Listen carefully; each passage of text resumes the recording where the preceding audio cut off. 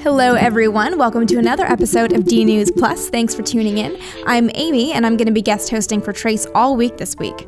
In this episode, number one of five, we're going to start talking about NASA's Gemini program. We're going to talk about its purpose, where it came from, and why it was so important in the race to getting to the moon by the end of the 1960s.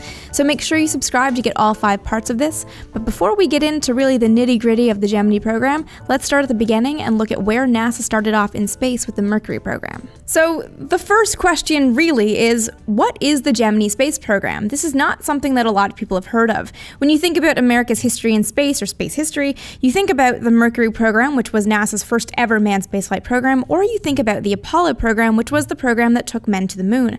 Gemini was the one in the middle. I often think of it as NASA's overlooked middle child, but it really shouldn't be overlooked because it was arguably the most important part of getting to the moon.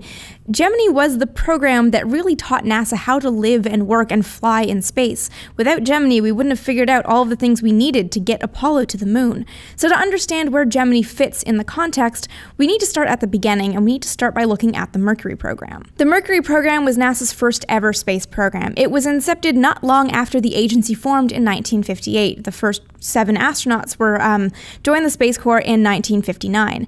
The goal of the Mercury program was to get a man in space, have him orbit the Earth, and return safely, ideally before the Russians got a cosmonaut up in orbit. The initial program was to have each of the seven astronauts make a short suborbital flight, just a 15 minute kind of up and down pop gun shot, before sending all seven into orbital missions, and the missions would get longer as the program wore on.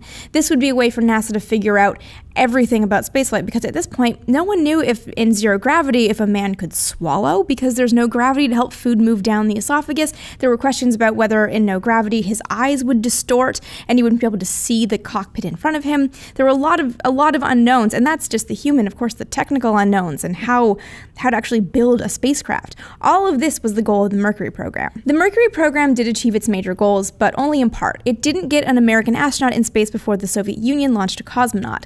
Yuri Gagarin launched into orbit on April 12th of 1961, and America got Alan Shepard up on May 5th of 1961, but Shepard didn't go into orbit. He just went up and down in 15 minutes and splashed down about 300 miles away from where he launched. So it was a good mission. It was a step for America, but it wasn't as good a step as the Soviet Union. On the heels of being beaten into orbit by the Soviet Union, NASA had to figure out what to do next to kind of regain some upper hand in space. And what the agency was already looking for was going to the moon, but it was on the books as like a distant goal, like 1970 or beyond, something that would come after there was a lot of spaceflight in low Earth orbit, just to understand how spaceflight worked. But after Gagarin went up before an American astronaut, it kind of shifted the balance for NASA. NASA didn't now didn't have the time to wait to really learn how to fly in space. It had to come up with some goal that would allow it to achieve this space first and become the dominant space power.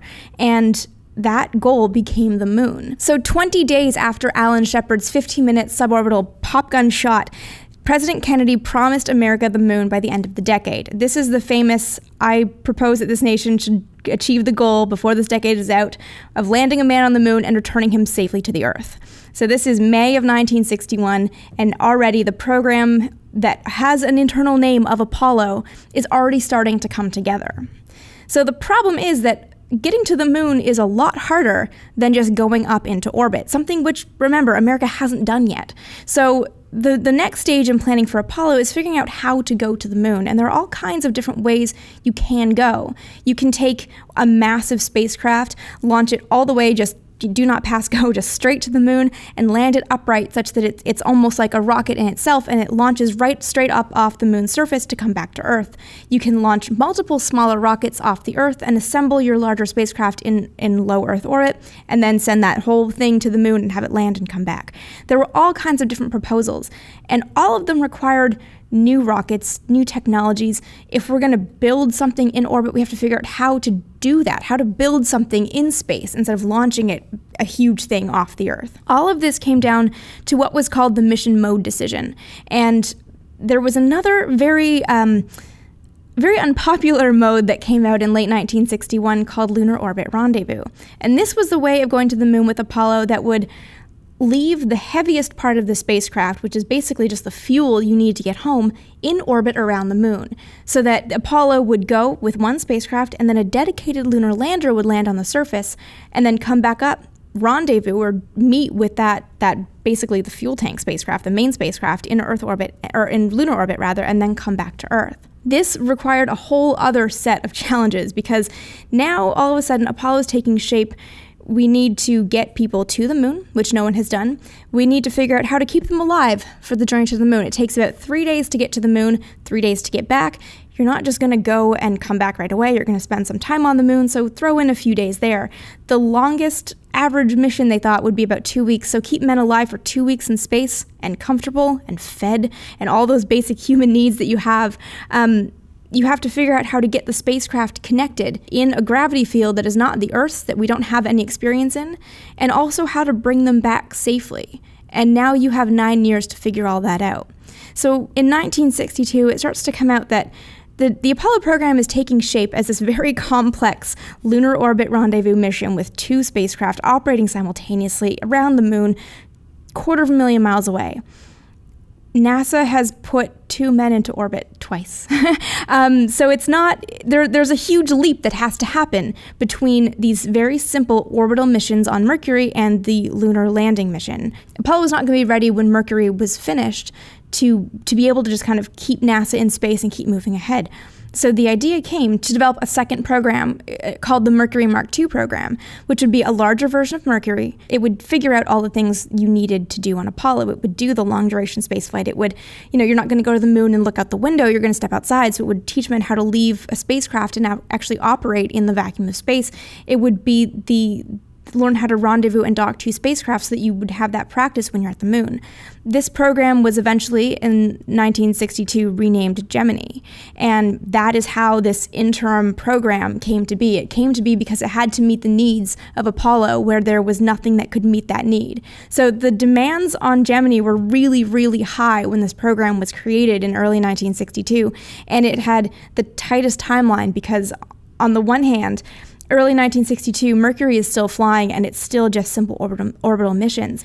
On the other end is Apollo going to the moon, come hell or high water, by the end of 1969, and you have this program that has just been created, building off Mercury, but completely changing the game that has to solve all of the problems that are associated with going to the moon in the mid 1960s. So Gemini is is that mid step that without it we would not have had. It's it's the bridge to the moon. We would not have been able to develop the technology. And that to me is why it's such a fascinating program because the the risk, everything that it had to take on so quickly and that it accomplished all of the goals. One more note before we move on to actually discussing what the Gemini program did is the pronunciation of Gemini. I'm sure a lot of you guys have heard it pronounced Gemini, like the constellation. Um, Gemini was named for the constellation. It was the first spacecraft to take multiple men. There were two astronauts on board, so it did kind of call back to the twins of the constellation. But NASA wanted to pronounce it differently and pronounced it Gemini. Look up any any old NASA archive footage newsreels from the Gemini program, they all pronounce it Gemini. So it might sound a little bit weird to you guys, but I promise this is how it's pronounced when you're discussing the program for NASA. So that's the basic rundown of the Gemini program, where it fits in, and why it's so important, and why I love it so much. Tomorrow, we're going to start getting into the details, and up first, we're going to discuss long duration spaceflight and fuel cells. Specifically, we're going to be talking about Gemini missions 3, 5, and 7. So be sure to subscribe so you get all that, and let us know in the comments what are your favorite NASA missions. One of mine is Gemini 7. We'll get to that one later, but let us know what you love. If you want to watch more about space right now, Trace did a great series about aliens, or you can watch an episode that Trace and I did together about what happens when you exercise too much. Thanks for watching, and see you guys next time.